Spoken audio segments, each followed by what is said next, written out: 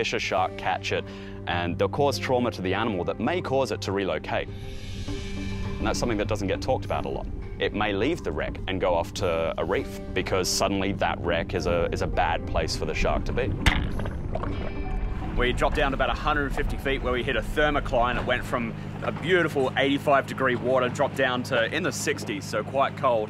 Under that thermocline at about 168 feet, we saw the sharks show up, some very large grey reef sharks. I got a tag on a fairly large female, and then I got to tag a large male, the largest male I've seen in this area yet, and it might explain why we're not seeing them here in the shallow part of the reef. They may be hanging down under the thermocline. She gets through the barrel. Stephen up to his second spur now. All he has to do is put it on the boot, and he will win this Duel of Destiny. And Stephen wins the Duel of Destiny. Danielle, I need you right here. Come here. I, I know it's a tough moment. Good job, Steve.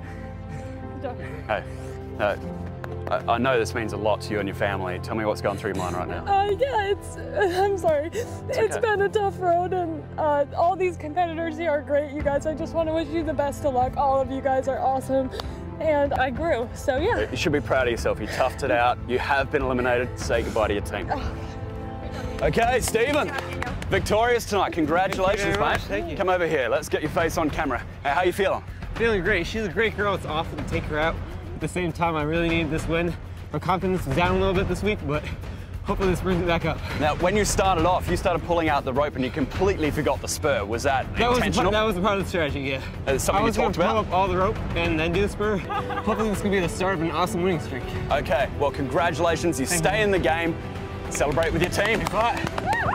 Okay, Danielle has been eliminated and Stephen is still in the hunt for the $100,000 grand prize. But the night's not over yet. We'll announce who you chose as this week's most popular and least popular players when we return live.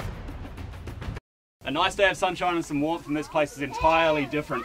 We can see thousands of snakes covering the den floor here, and just look at this biomass. Thousands and thousands of snakes all the way up here. These guys are very warm, they're very active. There's lots and lots of females everywhere. This is exactly what we came to see. These are 2.5 milliwatt lasers. Underwater, what you'll see is two parallel laser beams. They'll be pointed out directly in front of me. This will enable me underwater to shine these laser beams onto an animal and we'll be able to get an accurate assessment of exactly how long they are within maybe an inch or two.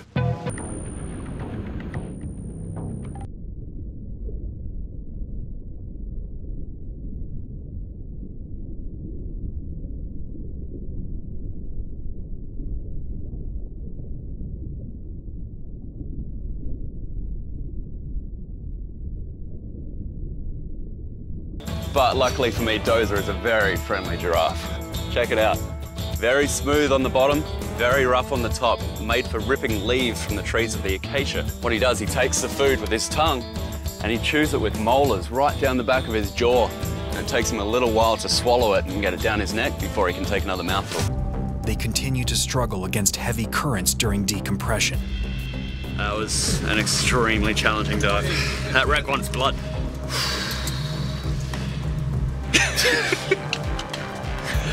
Oh, how's it heavy? Yeah, that was heavy. Yeah, it takes a special kind of idiot to chase down an extremely endangered animal on a wreck that's trying to kill us. Your objective is to knock your opponent off the platform. Each one of you will be armed with one of these.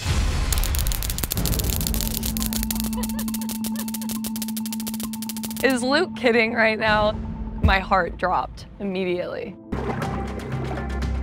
We've got the gill net out here and we're walking the line looking for sawfish, but in walking the line, we came across this. This is the fin of a, probably a juvenile bull shark. It's been finned, probably caught by a local.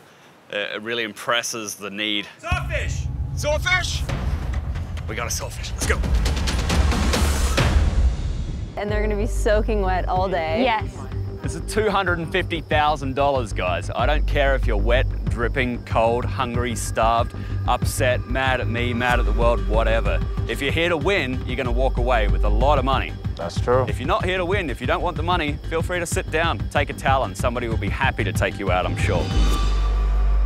If you look at, you know, the worldwide phenomenon of what sharks are, and, and you know, this is a business show, let's talk business, we're looking at a global industry of about $317 million annually just from shark tourism. So there's a huge industry of people wanting to make touch with sharks, both in the tourism industry, and then you look at Discovery Shark Week, which has unique views of, you know, over 21 million per released show.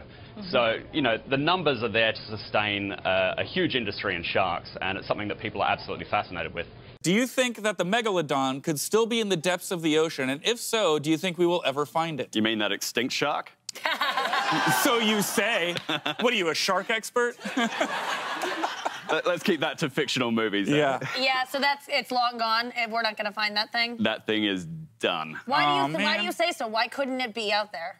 I'd love to think that it could be, but it's been extinct for millions of years. It's unlikely that it's just going to respawn, you know? It's not a video Yeah. game. Okay, okay. For a mated female like this one, is a very dangerous place to be. There's crows all around. They're looking for an easy meal on a cold day like today. She's not moving too fast. It may seem harsh to leave her like this, but the reality is she's part of an ecosystem. The crows have to eat too. So the ones that don't make it become food for the crow's fledglings, and the cycle goes on.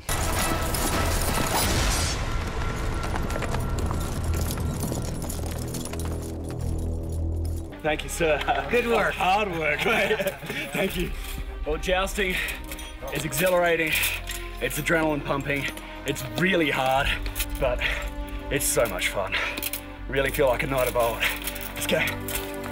This is a chum tube. It's filled with fish. You've seen it before. And uh, I need to take some more down for the sharks. To enable me to do this, I need some help. And for this, I'm going to use an underwater scooter. This is a pretty high-tech piece of equipment. Ah, it's also really heavy.